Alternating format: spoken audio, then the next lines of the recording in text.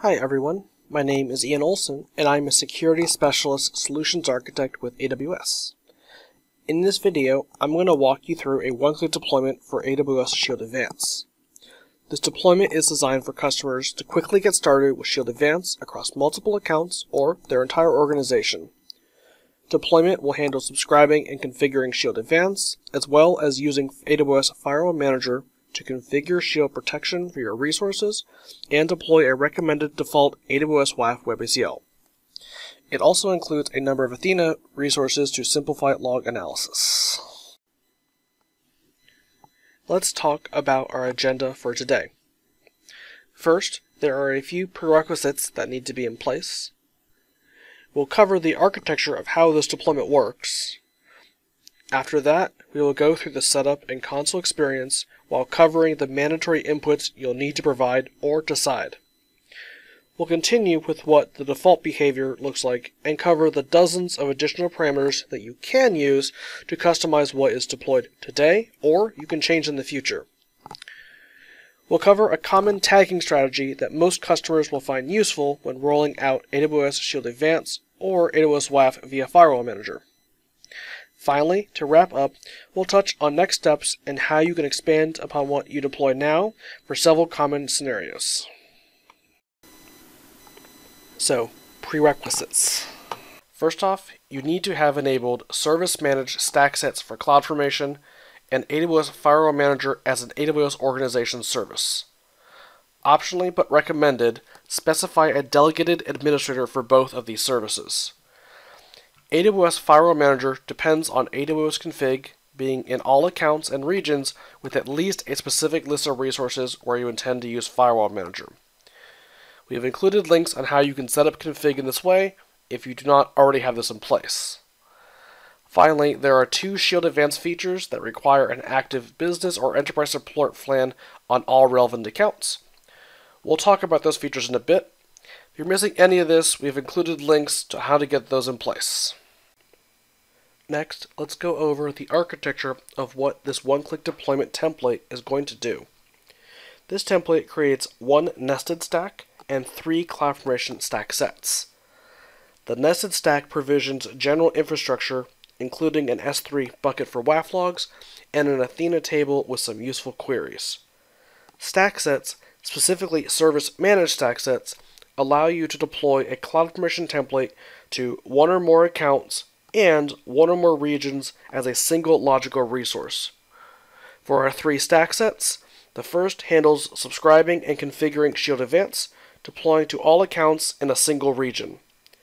The second stack set creates a security policy for AWS WAF and a Kinesis Data Firehose for logging. The final stack set creates another security policy for shield protection of resources. These two last stack sets deploy to a single account, the Firewall Manager Administrator or Delegate Administrator in one or more regions and scopes. With that out of the way, let's go through the process of deploying this template. I am using a Cloud9 environment since I don't need to configure anything on my local computer. This is not a requirement, however. Clone the code repository and ensure your AWS CLI is configured with valid AWS credentials and a default region. Everything we are covering today is also written up and is in the included README, but we are going to scroll down to the setup section directly. The script you see here will, let, will create an S3 bucket named code-one-click-shield-account ID-region and copy all the CloudFormation templates into that bucket. Region is whatever you have configured, or US East 1 if no default region was configured. If you'd rather do this without the script, create or use an S3 bucket, ensure all the YAML files are copied up to that bucket. If your bucket name does not match the naming schema code-account ID-region, update any bucket references in template.yaml before you upload it to S3. Using the script option, a URL is also returned that will take you directly to CloudFormation to start deploying your template. A number of the details are also pre-populated for you as well. We'll call those out and how to get those values for yourself. So I'm going to go ahead now and launch using the URL created by the script. Parameters here are going to be organized into logical groups with the mandatory parameters listed first. First up is Shield Advanced subscriptions. When you subscribe to Shield Advanced through the console, you acknowledge four service terms around cost and service commitment. Finally, unlike typical cloud CloudFormation where you delete a template, provision resources are normally deleted unless you explicitly configure them otherwise. In this case, if you delete this template, you are not unsubscribed from Shield Advanced and subject to the usual terms of subscription. This final parameter here is acknowledging that you understand this. The next group of parameters configures IAM access and proactive engagement from the Shield response team, also known as SRT. Both of these features require a business or enterprise support plan on any account where you enable this. The first option here is if you want to grant SRT access to WAF in your AWS account. With this feature enabled, SRT during an event while working with you is able to directly update your AWS WAF WebACLs on your behalf. If you choose not to enable this feature, SRT can still provide recommendations to WebACL rules that you can make changes yourself. Proactive engagement means when one of your Shield Advanced protected resources experiences a DDoS event and a health check you associate with that resource is failing, SRT will reach out to your emergency contacts you designate. In this section, you are going to choose if you wish to enable this feature and configure the first emergency contact SRT should reach out to. Later on, if you'd like, you can specify up to four additional contacts. To be clear on something, this deployment is not establishing the health check on protected resources. You will need to create and link this afterwards before proactive engagement can effectively happen. Regardless of the configured features here, you can always engage SRT through a support case. The final mandatory section is to scope where this is deployed. Your first choice for scope is which accounts to target. By default, org means all accounts within the current AWS organization. You can also choose to target or exclude a specific list of account IDs or organizational units. If we stick with org, the next value, scope details, needs the root ID for your organization. If you use the setup script to generate the URL, this value is pre-populated with your root ID. You can always get your root ID from the AWS Organizations console or using the following CLI command. For account and OU scope types, instead specify a comma separated list of either account IDs or OUs. These scope details are used to determine which accounts will be subscribed to Shield Advanced and included in Firewall Manager security policies for Shield and WAF. Next is the regions where Shield and WAF protection should be established. The setup script pre-populates this with your current region, but you can and should add any relevant regions that you need. This list is used to scope which regions Firewall Manager security policies are built in. Note, if you intend to protect CloudFront or Global Accelerator, ensure this list includes US East 1 and US West 2 respectively. Subscribing and configuring Shield Advanced itself is a global configuration, so this is always done in the region where you are deploying this template, regardless of this parameter. Next, you need to specify the Firewall Manager Administrator account. If you chose to delegate Firewall Manager to an account that is not the account you are provisioning this template, specify that account ID here. Otherwise, leave this value as self. The setup script generated URL will pre-populate this with the correct value for you. The final option is needed behind the scenes when you create a service managed stack set. If the account you are creating this template in is a CloudFormation delegated administrator, leave this as delegated admin. If this account is your payer, set this value to self. The setup script again generated URL will pre-populate this with the correct value for you. That concludes the mandatory inputs that are needed for a successful deployment. The remaining parameters are optional as far as the one-click deployment being successful, however, you should review all the parameters here to ensure what is deployed is what you want. Our first section of optional parameters are additional scoping options and the policy actions available for Firewall Manager security policies. Here you can specify which regional and global resources should be shield and WAF protected where applicable. Shield policies can also be configured to audit or remediate non-compliant resources. There are some strategies worth considering when enabling this. We're going to cover those later on when we cover scope tags in a bit. Next is AWS WAF rules. By default, the WebACL deployed includes the following WAF rules. First, a rate-based rule with a value of 10,000 and an action of count.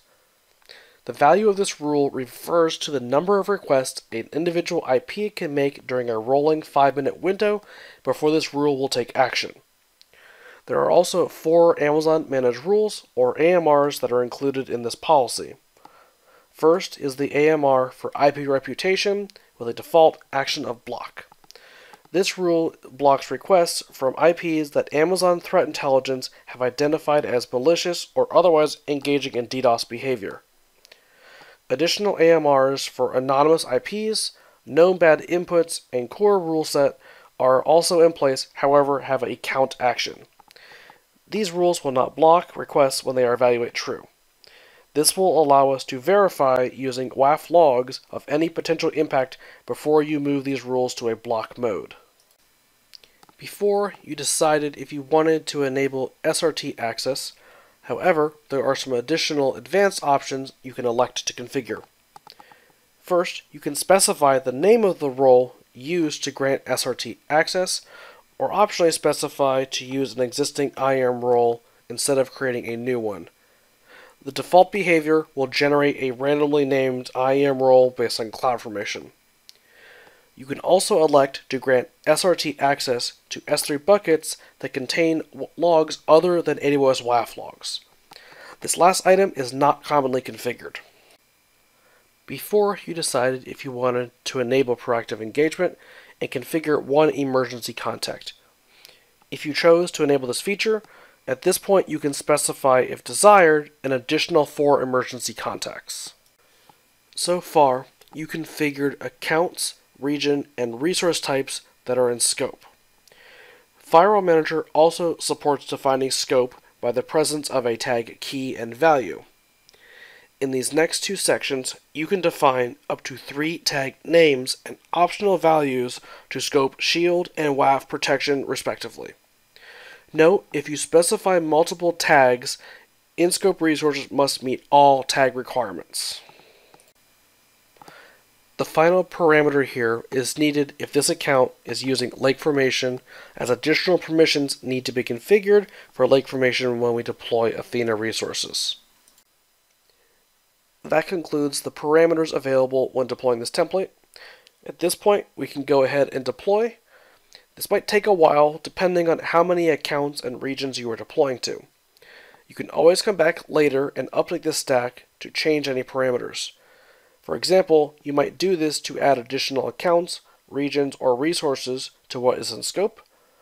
Alternatively, you may want to change scope tags or WebACL rule actions. Let's take a minute to talk about strategies. One of the more common strategies many organizations use to get started is scope tags in Firewall Manager security policies for an opt-in model.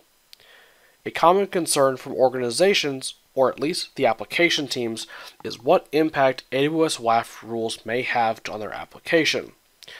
Application teams want to have control over when these changes are introduced, and at least initially, the ability to roll them back if there is impact.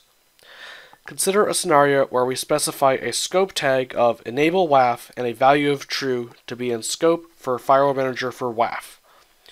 Resources in your organization don't already use this tag and the value for anything.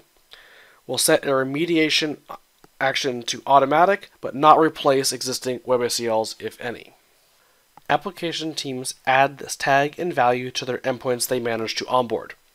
Firewall Manager evaluates this change, and auto remediation creates and associates an AWS WAF WebACL.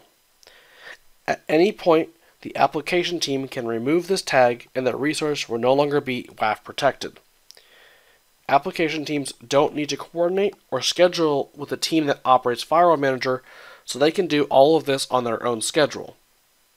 At some point as an organization, you can review endpoints that have not added this scope tag and follow up about getting them to onboard. Eventually, you can decide to update your security policies to not scope to a tag and value. Any new resources simply get protected in response to them being provisioned. New applications that come online should be starting in a dev tier where there should be no risk of a production facing impact if that application happens to be impacted by the current WAF security policy. This is by no means the only tagging strategy, however, if you don't have something else in mind, this is a good general choice to start from. Let's talk about next steps and how to build upon what you deployed here. Depending on what you decided policy scope and action wise, work to get all desired endpoints shield and WAF protected so they are producing WAF logs for us to review. In your WAF logs, you are looking for potential false positives. Using the Athena resources created during this deployment, query your WAF logs for requests labeled by any Amazon managed rules in place and ensure desired traffic is not being labeled. If you see this happening, you will need to create exceptions. We've included a few resources in the video description to help you dive deeper into how to identify and create these exceptions. Once you've addressed any false positives, your goal is to move rules from a count action to a block action. Additionally, the WAF rules included are a good baseline, however do not account for any context about your applications. You should consider if other AMRs or custom rules are appropriate. For example, there are additional AMRs for Windows and Linux OSs, WordPress applications, and advanced bot detection and mitigation options, to name a few. Finally, many customers will want or need to expand this one-click deployment beyond what you can control with the provided parameters. The most common example would be deploying multiple security policies for WAF with different rules and scopes. Common reasons why you might do this include different WebACL configs for different applications or different application tiers. For example, in non-prod, you may decide to restrict access to only specific IP addresses, while in production, endpoints should be public. Different applications may benefit from additional rules. For example, WAF offers additional AMRs for Windows or Linux OS exploits and specific applications such as WordPress.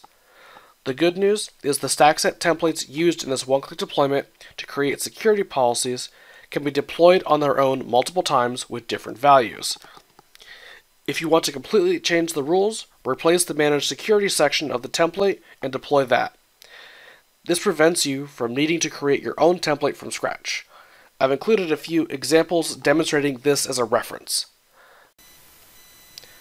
Finally, AWS recently released an AWS solution, Automations for AWS Firewall Manager, as a reference implementation of Firewall Manager.